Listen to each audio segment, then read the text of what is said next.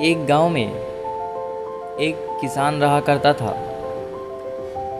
उसके पास बहुत ही कम धन था, लेकिन उसका सपना था कि वो अमीर बनेगा।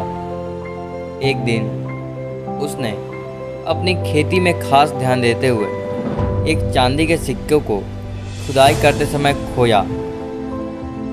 उसने सोचा कि चांदी का सिक्का उसके भाग्य को बदल सकता है। उसने वहाँ से सिक्का निकाला और उसने अपने घर ले गया।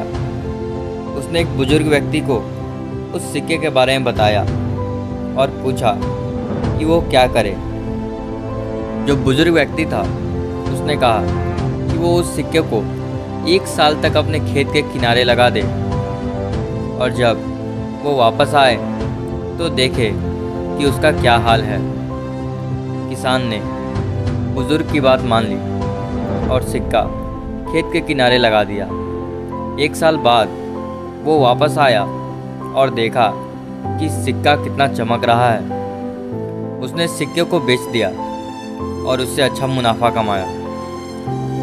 दोस्तों, इस कहानी से हमें ये सीख मिलती है कि कभी कभी हमारा सपना हमारे भाग्य को बदल सकता है। लेकिन हमें उसे पूरा करने के लिए कड़ी मेहनत करनी पड़ती है। जब लगन के साथ थोड़ा समय ज़रूर लगता है, लेकिन हमारी मेहनत का फल ज़रूर मिलता है। आपको अभी नहीं पता चल रहा हो, लेकिन आप प्रयास कर रहे हो, निरंतर प्रयास करते रहो। कुछ समय बाद जब आपको कामयाबी मिलेगी, तब खुद ब खुद एहसास हो जाएगा कि आपने कितनी कड़ी मेहनत की थी।